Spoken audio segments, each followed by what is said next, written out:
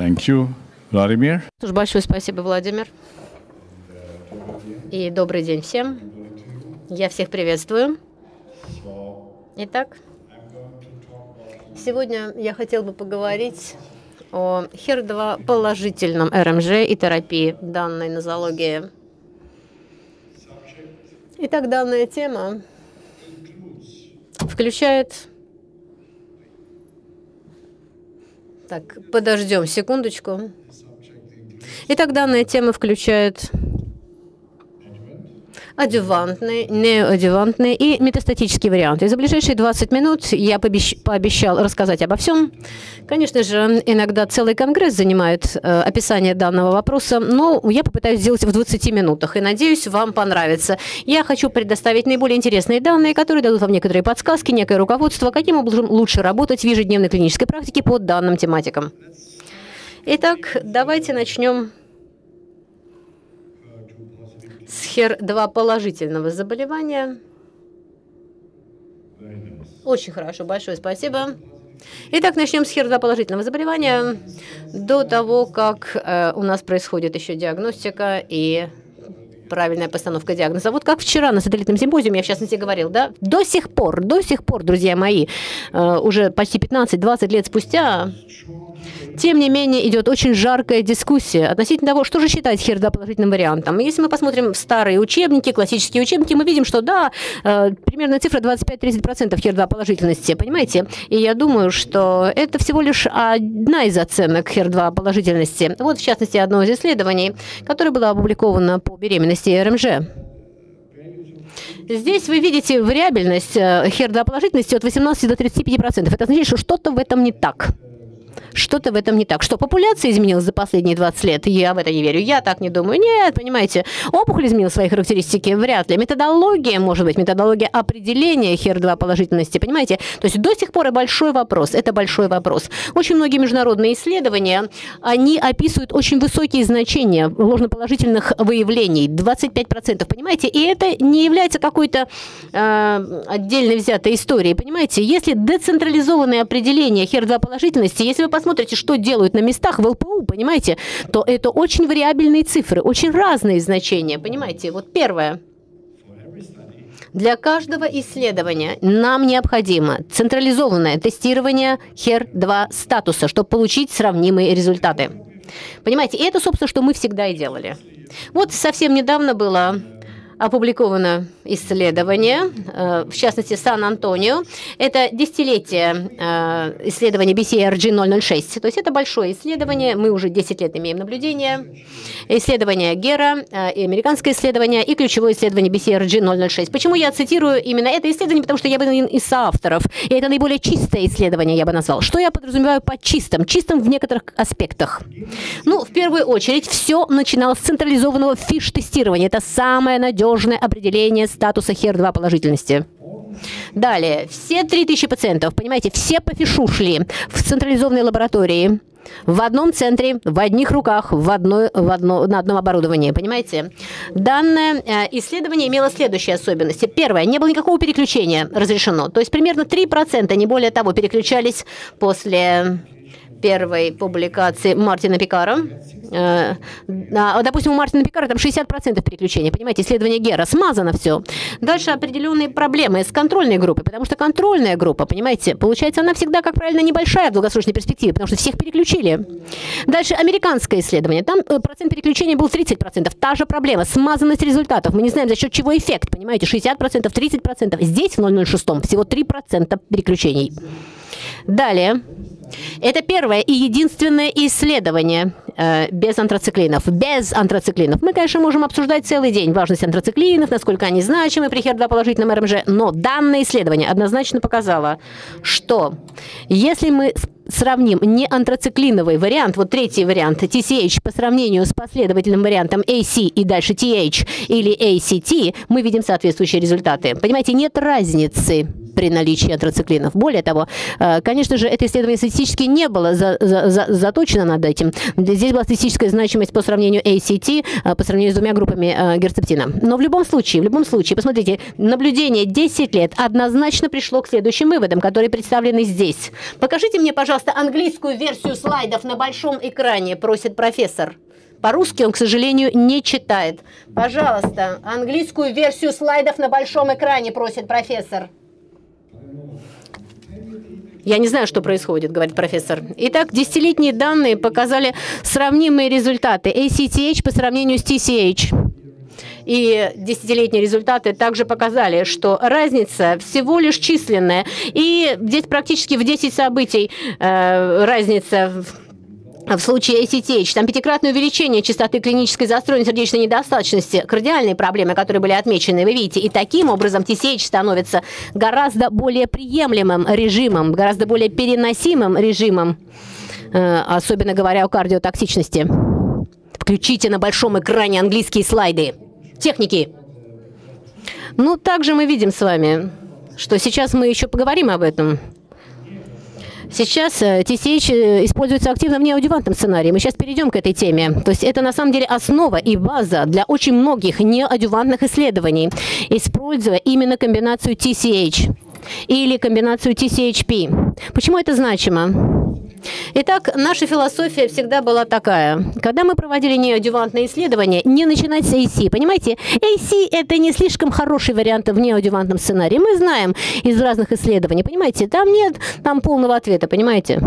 И TCH – основа – это тростузумаб, понимаете, вот это ключевой момент. Используя тростузумаб. Поэтому, э, э, что мы должны сказать? Самое лучшее должно быть самым первым. Поэтому, если, допустим, мы начинаем э, неадювантную терапию, начинайте с растузумаба, не начинайте с четырех циклов IC или VC или другой комбинации, за которыми идет TH. Понимаете, сначала должно самое лучшее. Начинайте с T. Ну, а дальше в этой комбинации это TCH. Это прекрасный вариант. И следуйте этой рекомендации. Итак, это означает, что в конечном итоге, каковы же рекомендации сейчас? В рекомендациях NCCA, NCCN, американских рекомендациях, итак, это ACTH или TCH, да? Посмотрите, шесть раз TCH или ACTH в последовательности, 4-4. Видите, да? Ну, то есть последовательность антрациклин TH сейчас рекомендуется как равнозначная терапия вне адювантном варианте. Таким образом, лучшее должно идти впереди. Не адювантное исследование, это исследование НОА. Итак, впервые э, дизайн этого исследования был представлен в начале 2000-х годов, в частности в 2001 э, Дизайн вообще мы нарисовали на салфетке в аэропорте Брюсселя. Вот Люка Джани, Пасега и я. Мы сидели, мы были э, советниками Джонсон Джонсон, которые хотели купить герцептин у компании Genentech, и после этой встречи мы вот там сидели, там была какая-то отсрочка, мы задержались на два часа в аэропорту Брюсселя, делать было нечего, и мы придумали на салфетке дизайн данного исследования. И дальше э, все-таки герцептин купил Рош, и они сказали, о, боже мой, что происходит, потрясающе. Затем используйте AT&T, антрациклины в комбинации с трастузумабом. Если сейчас мы прекрасно знаем из исследований 006, основное регистрационное, да, мы знаем этой кардиотоксичности, и таким образом они попросили нас придумать, предложить пилотный вариант европейского исследования, э, которое было опубликовано примерно дальнейшее в 2002 году в Journal of Cancer Research. Это было самое начало, самое начало. Это было первое неодювантное исследование. Итак, результаты. Итак, результаты. Вы с ними все знакомы. Результаты были опубликованы в 2010 году впервые в Ланцете. И здесь два момента, к которым я хотела бы привлечь ваше внимание. Первый момент такой.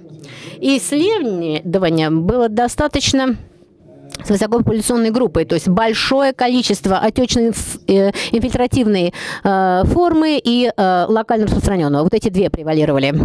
И давайте поговорим о PCR.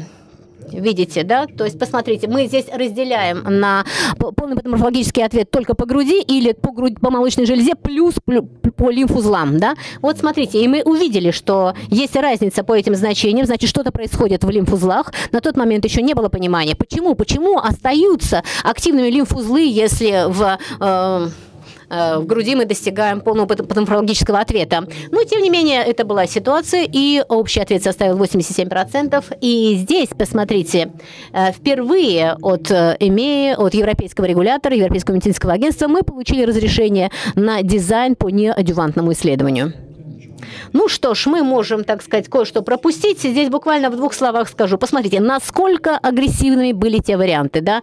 Смотрите, да, мы не можем сравнить э, э полный методологический э, ответ от исследования к исследованию. Но иногда это зависит от популяции, от многих факторов и так далее. Итак, перед вами характеристика пациентов продолжается. Вы видите положительность по подмышечным, по эпсилатеральным надключичным и медианной исходной фракции выброса. Да, то есть, как я уже сказала раньше, мы имеем здесь популяцию однозначно высокого риска. И в конечном итоге, если мы говорим о достижении полного патоморфологического ответа, PCR, посмотрите, по груди 43% по сравнению 23% без герцептина, и э, контрольная группа, обсервационная группа HER2 отрицательная, там был 17%, полный патоморфологический ответ, PCR. Но опять же, здесь мы совершенно четко видим, что э, инфильтративно-отечная э, часть, она также была очень активна. Вот отечно-инфильтративный вариант, смотрите, 61 случай, 61 пациент – и мы видим, что здесь однозначно в пользу герцептина. Посмотрите, почти по всем группам мы видим однозначное преимущество по герцептина. Но мы понимаем, что в отечественно-инфильтративной форме, как правило, высокий процент херда положительности. Ну, также и в других вариантах он присутствует. Итак, на самом деле, это был всего лишь первый этап, первый шаг – то есть э, до сих пор это не является везде разрешенной комбинацией. Ну, в частности, NTNT одобрилось исследование ЭМЕ, а теперь дальше появился пертузумаб. И пертузумаб, как вы видите, это очень интересная история о пертузумабе. На самом деле, изначально он показал почти никакого эффекта в комбинации с химией, ну, совсем чуть-чуть был, совсем чуть-чуть, практически неэффективен был. И дальше исследовательские э, лаборатории в Пенсберге Роша, это огромная лаборатория, которая находится рядом с Мюнхеном, там 2000 ученых ученых сидит. И вот они э, сказали, что ну, пертузумаб как-то не очень эффективно, неинтересно, но если попробовать его использовать в комбинации, то здесь мы находим два интересных момента. Первое. Мы находим эффект синергии, то есть аддитивный эффект, когда мы добавляем пертузумаб к герцептину. Причина какая? Потому что пертузумаб связывается совершенно с другим эпитопом, с другим центром связывания на э, рецепторе HER2. Да? А тростузумаб садится на совсем другую точку связывания. Это а, первый момент. Но главный эффект э, комбинации пертузумаба и тростузумаба заключается в следующем. HER2 и HER3 не могут димеризоваться, то есть димеризация блокируется. И сейчас очень элегантно мы называем это хорошим маркетинговым словом. Двойная блокада или двойная блокировка. Двойная блокада, которая предотвращает димеризацию HER2, HER3, и это означает, что э, путь трансдукции сигнализации максимально блокирован на данном этапе. И дальше пример. Очень интересное исследование. Исследование неосфера. В данном исследовании э, мы смогли ответить на очень многие вопросы, очень многие вопросы, хотя было относительно небольшое число пациентов. Посмотрите, ну, примерно 400 с небольшим пациентов, 450 примерно постов в каждой группе, но очень потрясающий дизайн. Это фаза 2 исследования, которое ответило на целый спектр вопросов с однозначными результатами. Итак, первая. Группа 1 трастузумаб плюс доцитаксел. Вторая группа комбинация пертузумаб, трастузумаб плюс доцитаксел. Группа С. Группа 3 по-другому. Очень важная группа. Вы видите, что это без химии группа, без химическая группа, только комбинация двух антител. И, наконец, группа 4 – это доцитаксел с пертузумабом. Вот, смотрите, этот дизайн, небольшое число пациентов в исследовании фазы 2, и в результате мы смогли ответить на огромное число вопросов. И... Ой-ой-ой. Все пропало. У нас пропали все слайды. Что, батарея села, да? У компьютера. Да, я заметил. Это как в современных машинах, понимаете? Электромобиль. 100 километров проехал и встал. Я вижу, что в России те же проблемы с компьютерами. Звукоинженеры, вы чем там заняты? Да, я могу нажимать на кнопочку, и ничего не происходит. Я жму, вы что думаете? Ну, я могу так поговорить, рассказать об исследовании. Нет, сфера вслепую, знаете, могу рассказать. О, неужели? На английском вывели слайды. Прекрасно. Спасибо большое. Итак, вот перед нами тот ключевой слайд. Я думаю, что вы все знакомы с этим исследованием, но сейчас я бы хотел показать еще раз. Смотрите, 16.8% достижения полного патологического ответа только на фоне антител. Третий столбик. Это совершенно новый результат, понимаете? Мы этого не знали, мы не подозревали, что антитела сами по себе уже дадут нам относительно высокий, высокий уровень достижения полного патоморфологического ответа, PCR так называемый. И комбинация, смотрите, слева, зеленая колонка, смотрите, мы видим тройную комбинацию пердозумаб, трастузумаб, доцитоксел. Мы получаем очень хороший вариант, 45,8% достижения полного патоморфологического ответа. Ну, справа то, что я уже говорил, пертузумаб сам по себе, как видите, слабое антитело одно, говоря о уменьшении размера опухоли, работает, хорошо работает только в комбинации с тротузумабом, блокируя димеризацию HER2, HER3. И опять это, собственно, то, что мы знаем сейчас. Мы все это знаем. Посмотрите, частота достижения ППО, полного патоморфологического ответа в зависимости от гормонального статуса. видите, есть небольшая разница по эффективности, конечно, и главным образом это в пользу HER2 положительного варианта э, и RPR отрицательного, то есть гормонально отрицательного. Но посмотрите разница. Э, 5,9 в группе HP, э, э, дальше 27,3, вы видите, да? То есть частота полного патоморфологического ответа. Очень интересно, почему? Потому что на самом деле здесь разница выше, чем в других колонках. Вы видите 20, 26 и так далее. Здесь в 5 раз. 5 раз. И, соответственно, это требует своего объяснения. Итак,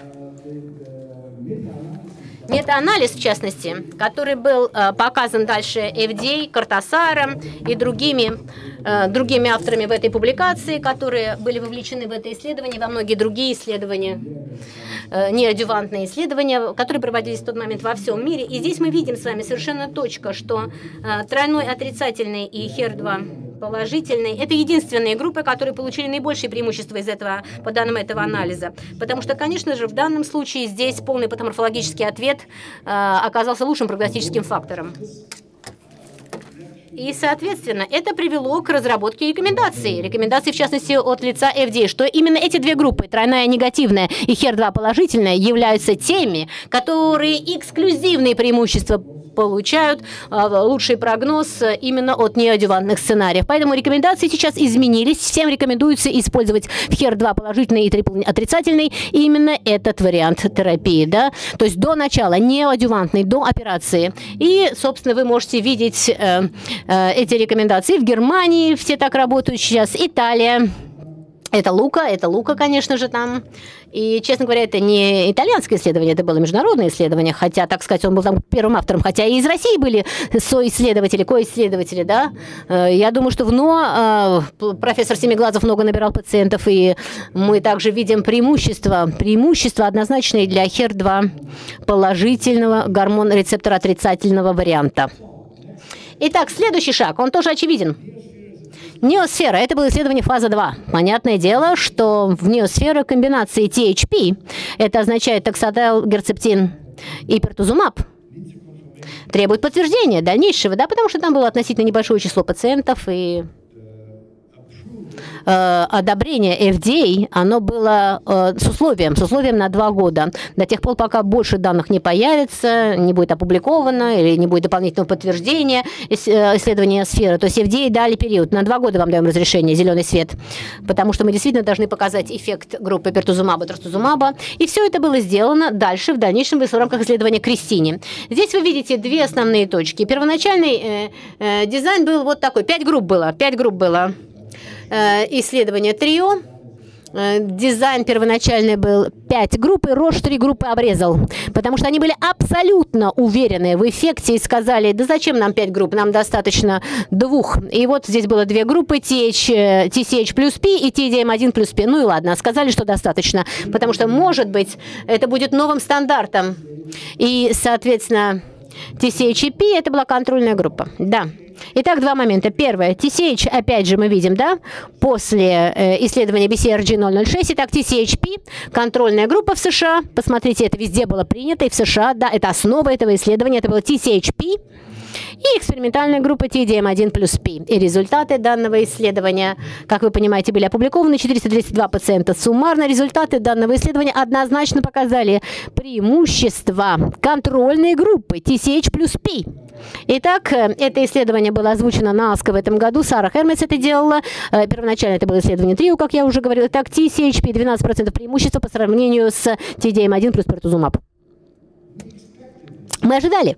Мы ожидали этого, конечно же, и я вернусь еще к этому через минуту э, в Майами, в исследовании Майами. Мы ожидали это, мы ожидали эту разницу примерно такую, но, возможно, это характеризует сейчас новый стандарт TCHP. Э, и я думаю, что в ближайшей ситуации, в адювантном сценарии, скорее всего, это тоже будет в будущем. Надо подождать, подождать данных по афинности. Э, в других сценариях скоро эти данные появятся. Но, честно говоря, я думаю, что TCHP может использоваться как в неоадюванте, так и в адюванте. Ну и опять же, мы видим, что активная вовлеченность э, русских центров, э, центров из России, большое спасибо всем, поэтому это большое международное исследование, э, США, Украина, Тайвань и так далее, и так далее, куча других, да, все трио-центры во всем мире были активно вовлечены в это исследование. Ну что ж, фаза 3, фаза 2, пертузумаб и в хер положительном РРМЖ. Итак, неосфера мы уже говорили. Трифаэна показали, показала те же самые результаты, как и неосфера.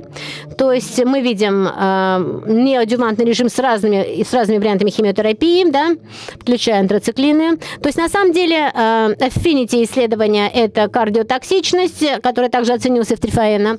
И э, я думаю, что мы должны подождать данных, э, которые, может быть, будут в ближайшем будущем и представлены. Итак, я должен вернуться вот к этой истории. А, опять же, программа клинической разработки TDM1. Большая программа, большая, с 7 по 14 год. То есть первоначально это была Эмилия, затем фаза 3 исследования тростузумаб по сравнению с кепсатабином и лопатинибом опубликованы буквально несколько лет назад вот уже, и все были такими большими энтузиастами, кричали, о, TDM1, я думаю, что все знакомы с этим вариантом, конечно же, то есть это трастузумаб э, в комбинации с эмтанзином, это цитотоксическая составляющая, и исследование э, э, сравнивало X плюс L Эмилия, ну и дальше исследование Марианна. Итак, перед вами дизайн этого исследования. Эмилия, как вы видите, локально распространенный TDM1 Plus Lab, клиническое исследование МИНИ, вот его клиническое обоснование. И вы видите данные по подгрупповому анализу выживаемости без прогрессирования. Вот этот анализ ВБП. Вы видите, что все подгруппы здесь были однозначно, однозначно в пользу TDM1. Э, даже, так сказать, э, за исключением группы 65 лет, да. Ну и здесь вы видите э, выживаемые, преимущество по общей выживаемости предварительный анализ. И вот эти данные, окончательный анализ общей выживаемости в исследовании Клеопатра, э, терапия первого ряда с применением пертузумаба, трастузумаба и дезотоксела, которое было представлено совсем недавно, в 2016 году. Э, и вы видите первая линия, это важно, первая линия. Итак, пертузумаб, трастузумаб и доцетоксел у пациентов с HER2 положительным метастатическим РМЖ. Далее плацебо Э, с тратузумабом плюс доцитаксел и дальше пертузумаб с тратузумабом. Здесь вопрос, вопрос. Первый вопрос, да, э, что является стандартом сейчас и комбинации пертузумаба плюс тратузумаба плюс доцитаксела, да? То есть это была экспериментальная группа, и далее при метастатическом сценарии первичная э, конечная точка, это выжимаемость прогрессирования. Были и вторичные критерии оценки, конечно же, и вы видите эту большую разницу э, по вариантуму э, ПТЗ плюс Т плюс Д по сравнению с плацебо плюс Т плюс Д. И вы видите однозначно преимущество двойной блокады двумя антителами. Это означает в конечном итоге, э, что Клеопатра, ну, выводы очевидны, что добавление пертузумаба к стандартной терапии первого ряда достоверно улучшает медиану общей выживаемости существенно на 15 с лишним месяцев и общая выживаемость э, очень хорошая, 56 точка с половиной месяцев общая выживаемость. То есть это беспрецедентная в рамках данного показания подтверждает, что пертузумаб может быть стандартом первого ряда для пациентов с хердоположительным метастатическим РБЖ. Ну что ж, я практически завершаю свое выступление. Осталось пара слайдов. Марианна, фаза 3, фаза 3, Марианна. Итак, дизайн тоже был понятен. Трастузумаб с таксаном в терапии первого ряда по поводу HER2-положительного метастатического РМЖ. Когда это начиналось, никто не знал об исследовании пертузумаба. То есть вот, смотрите, дизайн здесь. Итак, у нас, смотрите, трастузумаб с доцитакселом – это стандартный контроль. Ну, не лучший, скажем так. Ну, на тот момент не, не, мы не все знали. И дальше у нас TDM1 с плацебо и TDM1 с пертузумабом, две группы. Ну, так сказать, в принципе, хорошо сбалансированы. Критерии оценки вы видите, более 300 пациентов в каждой группе. Итак, первый пациент в 2010 году набрал, последний в 2012. Данные, которые мы знаем уже с декабря 2014 года. И я думаю, все были, конечно, слегка шокированы, потому что разницы это не оказалось, не оказалось между этими тремя группами. И, честно говоря, видите, очень равнозначно, очень похоже, потому что герцептин и доцитоксел являются достаточно слабой контрольной группой, но не было разницы между TDM1 плюс плацебо и TDM1 плюс пертузумаб. Но вероятность лучше была, побочки было меньше, понятно, э, и не было других нежелательных явлений. Ну, понимаете, большая цена, конечно же, для того, чтобы заплатить за равнозначный результат. И, честно говоря, субъективное улучшение в группе TDM1. Но в любом случае, в конечном итоге это означает следующее, что первая линия метастатическое заболевание THP. Я сегодня слышал, что герцептин плюс пертузумаб доступен уже в России, доступен. И у вас есть специальная комбинированная упаковка, биодайм. Вы можете получить все в одном флаконе, герцептин, пертузумаб и раствор для разведения. Очень хороший маркетинг, очень хорошо, очень хорошо. Потому что я слышал, что уже у вас биосимиляры в дверь стучатся, да. И еще, кроме того, первая линия трастузумаб плюс доцитаксел плюс пертузумаб, вторая линия TDM1. Вот так если вы спросите меня в соответствии с теми данными, которые мы имеем. Итак, на этом я закончил свою презентацию. Большое спасибо за ваше участие, за ваше внимание. Ну, буквально пробежались по всем трем группам. Большое спасибо, большое спасибо, профессор Айерман.